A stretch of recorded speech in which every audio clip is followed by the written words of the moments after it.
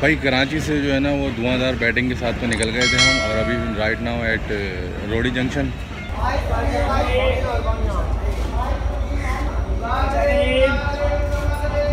फ़िलहाल खाने वाल तक पहुँच गए और अभी खाने वाल के स्टॉप पे ट्रेन जो है रुकी है। सफ़र बहुत मज़े का गर्मी है बहुत ज़्यादा। लेकिन सफ़र में बहुत मज़ा आ रहा है अभी तक और जो प्लान किया है उस हिसाब से अब तक बिल्कुल वैसा ही चल रहा है सब कुछ। तो आगे देखते हैं कहें फ़िलहाल खाने वाले शॉप पर अभी खाने वाले से निकलेंगे और उसके बाद फैसलाबाद पे हमारा प्लान है कि हम उतर के वहाँ से शिफ्ट करेंगे अपना सफ़र। नेक्स्ट ट्रांसपोर्ट में नेक्स्ट ट्रांसपोर्ट कौन सी होने वाली है, वो मैं बताऊँगा आपको ट्रांसपोर्ट में चढ़ते हुए। फ़िलहाल तो है अभी खाने वाले जंक्शन के ऊपर पानी वानी पीने के लिए रुके थे। मज़ा बहुत आ रहा है भाई। गर्मी भी है साथ साथ लेकिन मज़ा भी बहुत आ रहा है। अब मिलते हैं अगले नेक्स्ट स्टेशन पे, खाना वाना खा लें, थोड़ा चाय वाय पी लें, फिर उसके बाद नेक्स्ट स्टेशन पे मिलते हैं। और पाकिस्तान टूर बहुत मज़े का होने वाला है इन बाय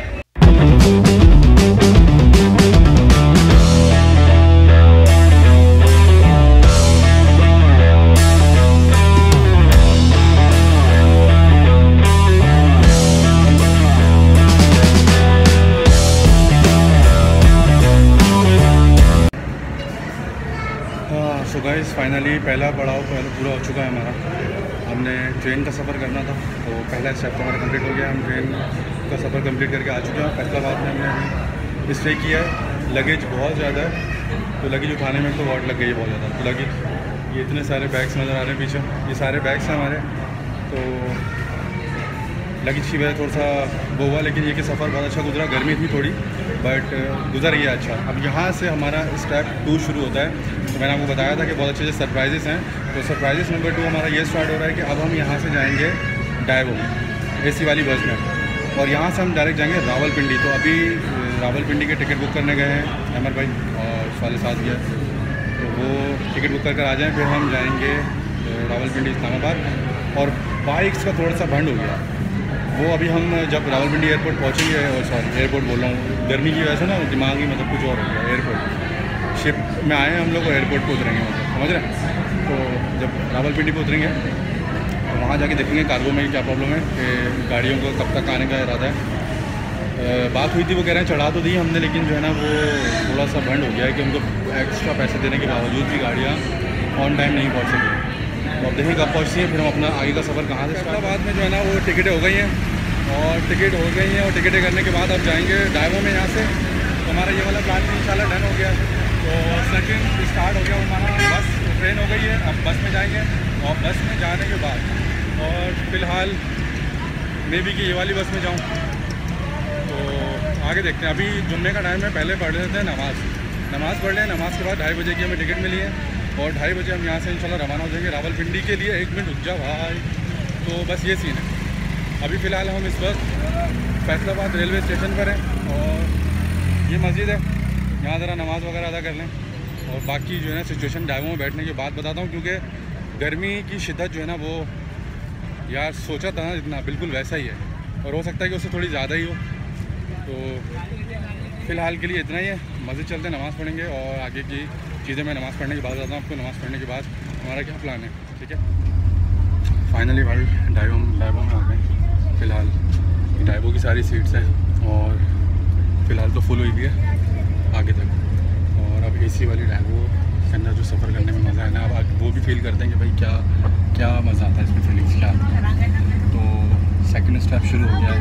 ट्रेन का सफ़र कंप्लीट हो गया है और बस का सफ़र स्टार्ट हो गया है। इसके बाद हम दो और सरप्राइज़ देने वाले हैं और वो अभी तक हिडन है। तो आगे जब वीडियो देखते जाएँ तो आपको वो सरप्राइज़ भी मिल जाएँगे। तो फर्दर मोर जो है वो आपको सरप्राइज़ ही सरप्राइज़ मिलने वाले हैं और सफ़र को बहुत ज़्यादा तरीके से हमने सोचा है कि बहुत अच्छे से मैनेज करेंगे। और फर्दर यार मज़ा बड़ा आ रहा है फ़िलहाल। जैसा सोचा वैसा ही मज़ा आ रहा है।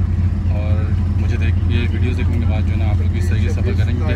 हमने हमारा प्लान यही था कि हम बाय रोड चाहेंगे बट हमारे एक साथी ने हमें अच्छा मशवरा दिया कि इस तरह करके देखते हैं हम बहुत ज़्यादा ट्रैवल्स चीज़ों को कर सकते हैं। तो हमने उनकी बात को माना और अपना ट्रैवल इस तरह से स्टार्ट किया। और आगे जाते हैं।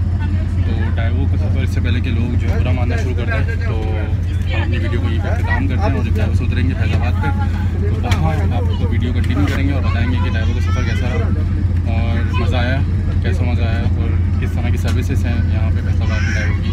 फ़िलहाल फैसलाबाद में कोई शेयर नहीं किया, लेकिन फ़िलहाल बहुत मज़ा आया। तो अभी चलते हैं अपनी सीट की जाने क्योंकि फिर आवाम भर जाएगी तो फिर सीट पर जाने में थोड़ा सा मसला हो जाएगा। अभी पीछे कैसा खाली था तो मैंने सोचा यहाँ के अपनी वीडियो कंप्लीट कर लें और साथ साथ अपने सारे काम भी कंप्लीट कर लें। गर्मी बहुत लाले। बाकी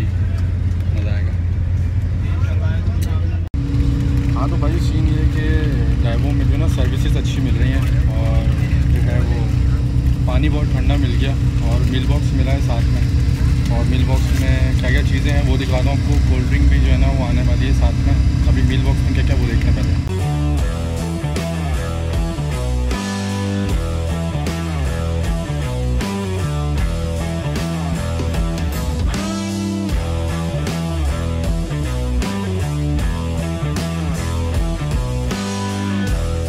भाई सीन ये है कि जो है ना हम पहुँच गए हैं अभी कलाकार लेक के पास, यहाँ पे वैली ऑफ़ पिकॉक भी है। अभी हम इस होटल पे स्टे किया है। स्टे इसलिए किया कि थोड़ा सा रेस्ट कर लें। तो अभी चलते हैं थोड़ा वॉशरूम वगैरह और इसके बाद जो है चीज़ें देखते हैं। चलते हैं। तो भाई चल रहे हैं, हम अभी जा रहे हैं वॉशरूम की साइड पे ये हाँ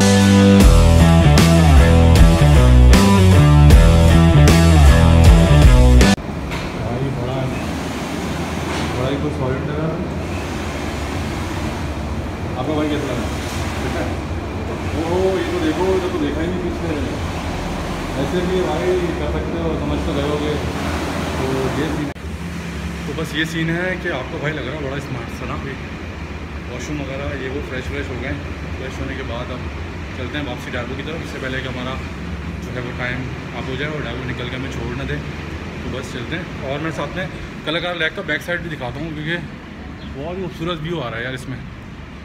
और चलते हैं हम। अब होगी व्लॉग तो ये हो गया सीन सारा। और वादियाँ आप देख रहे हो पीछे सारा जंगल जंगल है और बड़े खूबसूरत से पेड़ हैं। तो अभी हम चलते हैं अपनी डाइवो की तरफ़।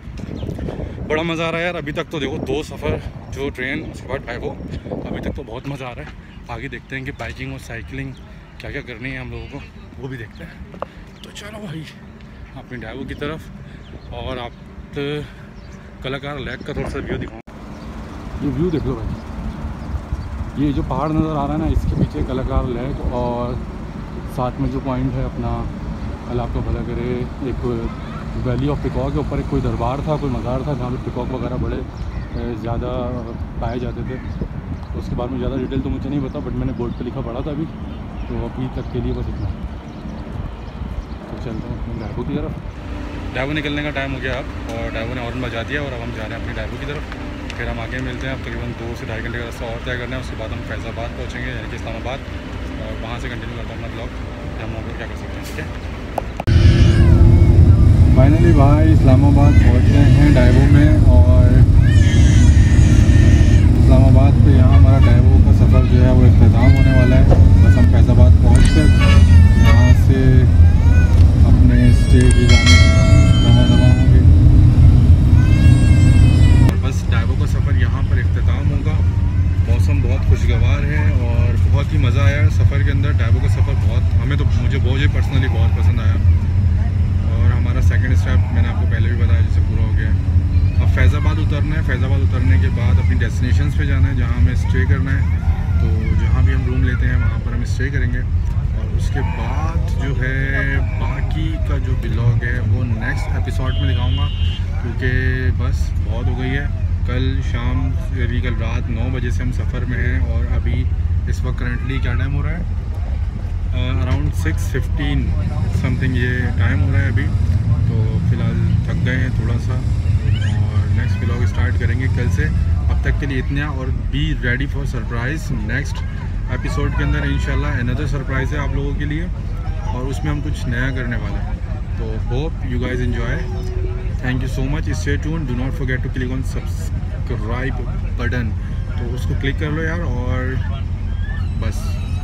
बाकी बताएँगे, बाद में ट्रैफ़िक बहुत जाम हो रहा है। ट्रैफ़िक देख लो। तो ये हो रहा है ट्रैफ़िक का हाल। ट्रैफ़िक बुरी तरीके से जाम है फैज़ाबाद पे और हम, बस, नींद आ रही है अब नींद हाफिज़ गुड नाइट